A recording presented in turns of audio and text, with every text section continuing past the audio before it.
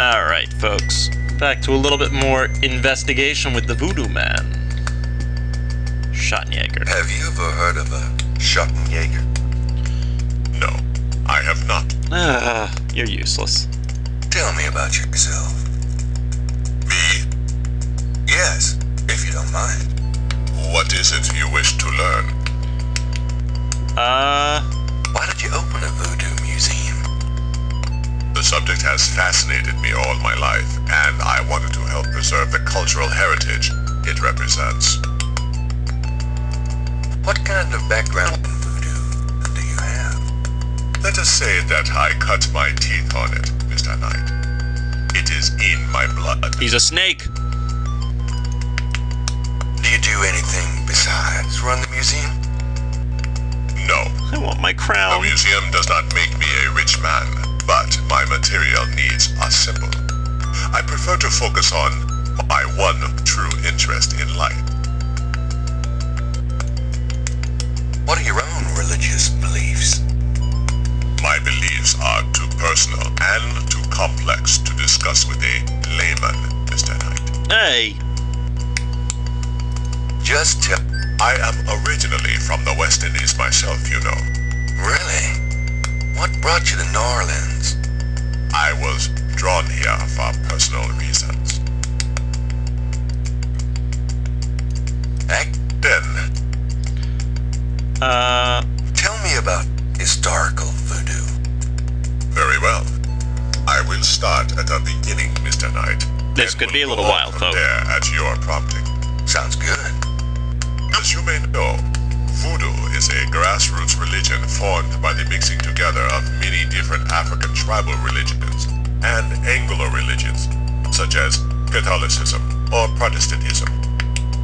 In other words, it is a religion born of the African slave trade. But African slaves were imported not only by the United States, but also into the West Indies where the French and Spanish ran plantation islands.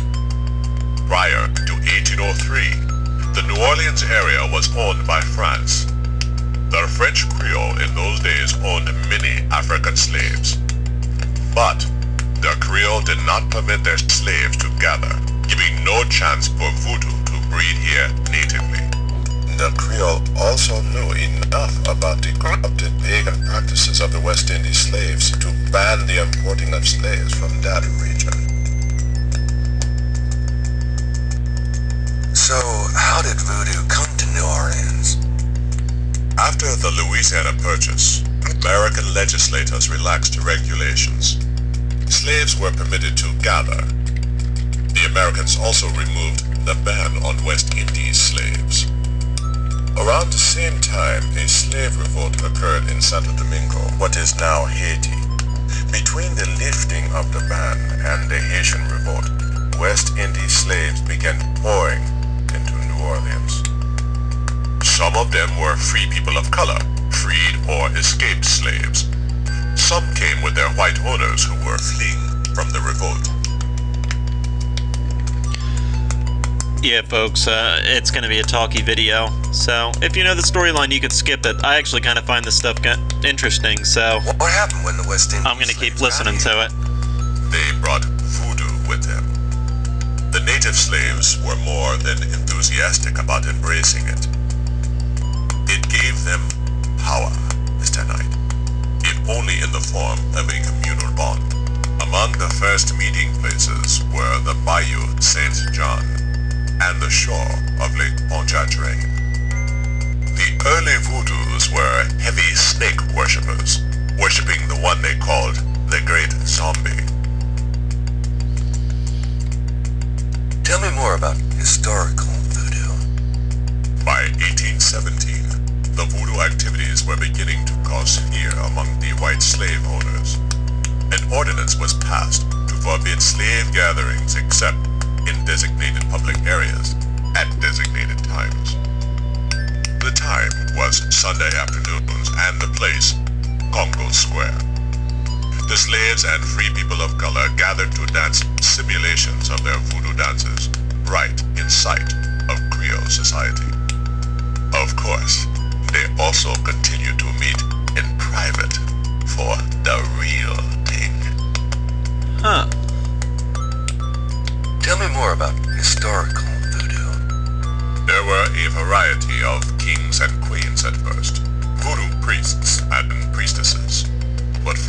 1830, a single power emerged.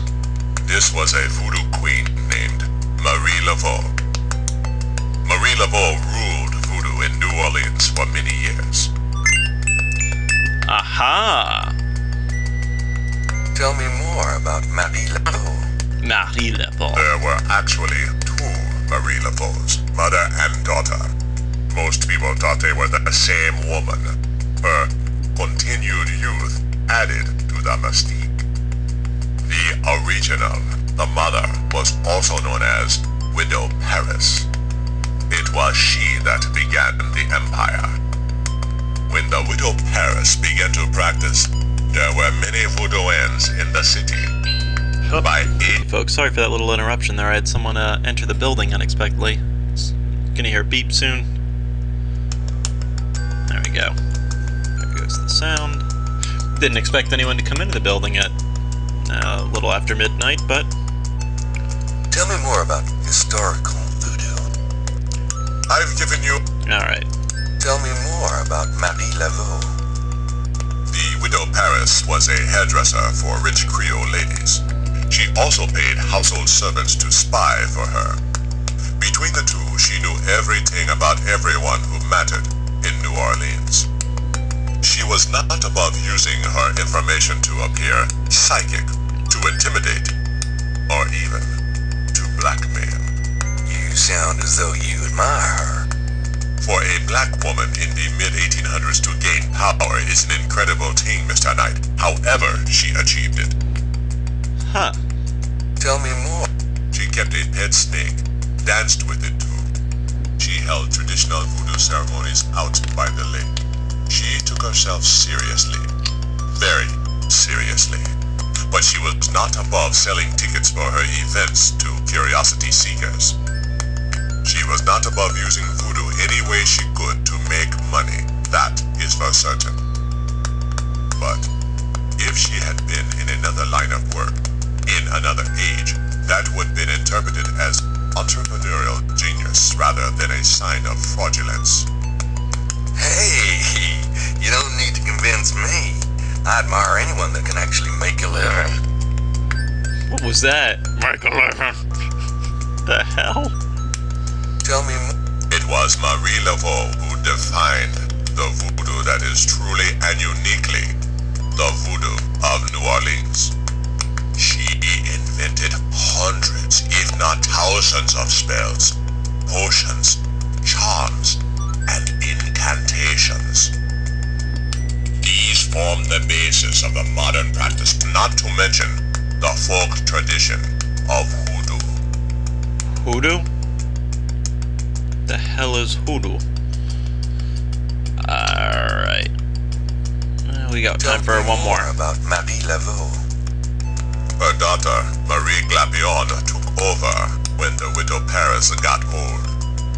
Most people thought it was the same Marie Laveau. Both Maries encouraged that point of view. The widow Paris died in 1881.